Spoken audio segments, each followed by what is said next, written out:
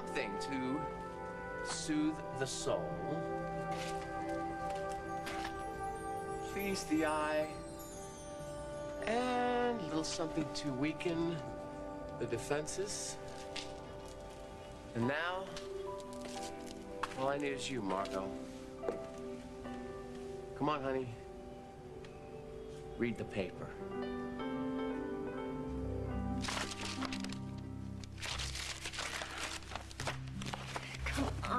Come on, come on, think. Hughes, you're a very smart woman. Now think. What is it? What is it? What is the connection to Alec? There's gotta be a clue in here.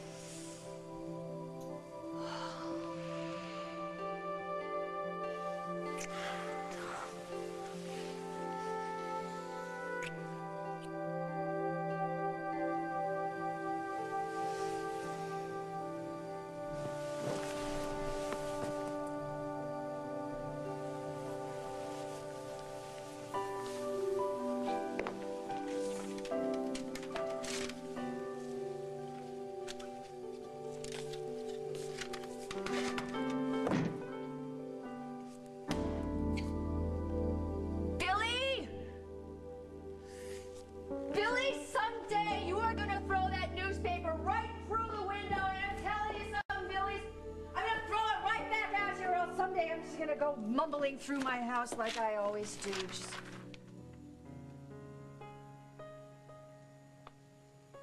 Oh no.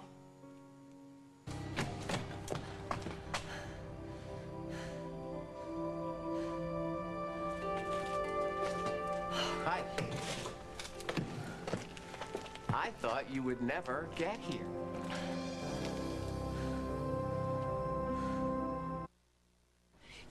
You set me up. This this this is a fake.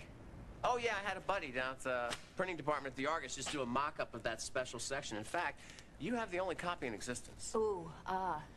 And uh, the paper boy? Oh, come on, 20 bucks. I said wing it really hard at the house so she notices. Did you notice? Yeah.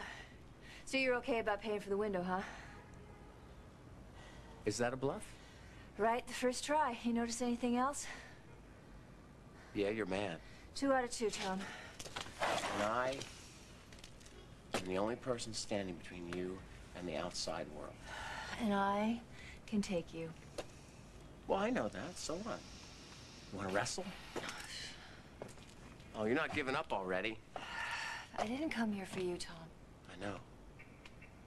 You came here for us. Well, since there is no us, that'd be a neat trick. Oh, so why'd you come here? Did you come to look at a bunch of bricks and mortar and cement? I came to look at the view again.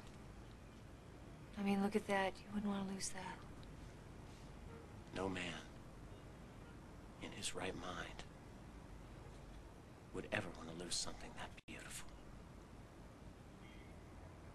Me neither. I wouldn't want to lose this place either.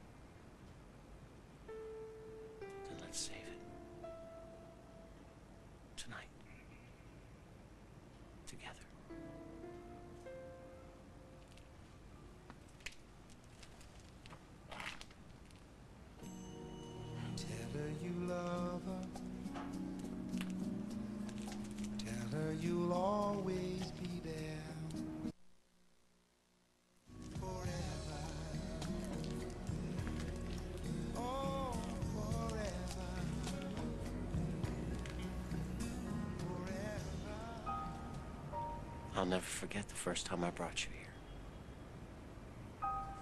When I thought that falling in love was something that you did until you were in love. But that night, we didn't force anything or try to make it happen, but there was that feeling, that feeling of falling even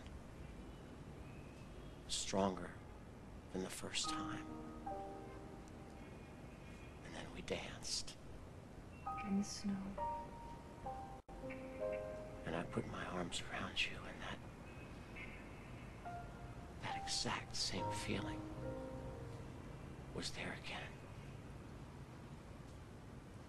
That feeling I had the first time I touched you. And I realized that this is where I was meant to be.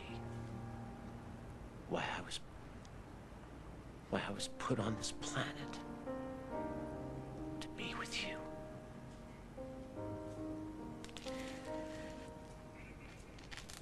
It was so cold that night, do you remember? Oh yeah, I I remember. But then, when we danced, you couldn't feel the cold anymore. And the snowflakes, they just, they felt like kisses. I wiped those snowflakes from your hair, you remember?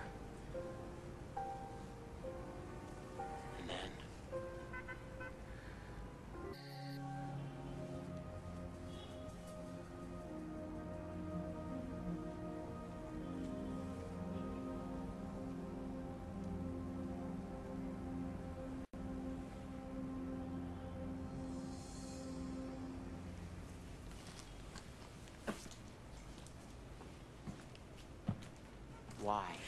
Why? Because. Because I have memories of this place too, Tom. I remember the last time that you and I were up here is when I found out about you and Emily. I wish the night had never happened. Mm-hmm. I wish it had never happened, but it did. And as painful as that night was, as much as I hurt you, I know the love is still there. You know, or you hope. I want. And you want it too because I see it sometimes, hiding behind the shutter that you put down over your love for me. Don't you ever miss me? I miss what we had. I miss that every day. But I have I have a new life now. I have a new job. You got fired from your job. I got rehired. Oh, so he's still interested in you? Rumor has it. Are you interested in him? Well, I'm just keeping my options open. See, I don't think so. Not the way you kissed me today. Oh, well, you're mighty sure of yourself, aren't you? I'm scared to death. Of what? Scared that you'll never forgive me. Scared that we'll never get through this. Scared that you'll keep letting Alec and Emily get in the way. I never let Emily get in the way. She just sort of showed up like some evil jack in the Tell you box. what, I... I got an idea. What? What Just wait. What is that? Just think of it as... Think it as a... Some police tape. Just a, What you- what- a what are you police a line. here? Just hold on. Where... Nobody's allowed inside. Except authorized personnel. And that would be. You and me. Well, I guess then this is the scene of the crime, huh? Now this is hallowed ground. Where the rest of the world is not allowed in. But you gotta. You gotta go there. You gotta let this happen.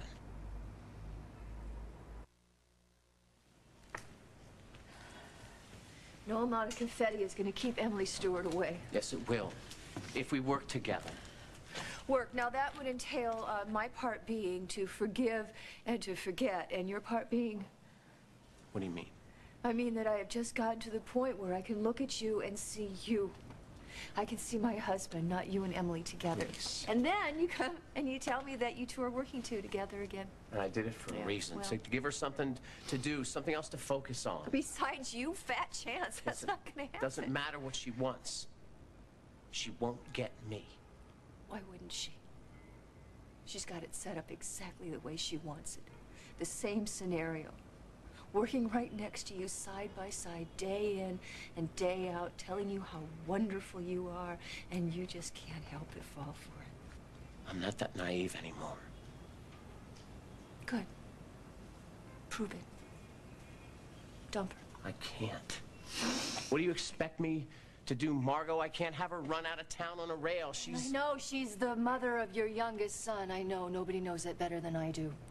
Daniel is mine. And I love him. Mm-hmm. But she means nothing to me. All right, you know what? We've both moved on. Why don't we just leave it at that? You expect me to believe you've moved on with Alec Wallace? Why not? He's a very, very handsome man. And he means nothing to you. you don't know me very Look, this well is not about a PR job. I've thought from the very beginning, maybe you were doing this to make me jealous, but that's not it either, is it? Let's just leave it, okay? Do you want to know how to start this? Do you? Trust me. Just trust me. Tell me what is going on between you and Alec. Tom, I don't trust you anymore. You don't believe that. And neither do I. It's true. I don't believe in you. I don't believe in us. And I don't believe in the magic of this rooftop, not anymore. No, no, we. We are the magic, Margo.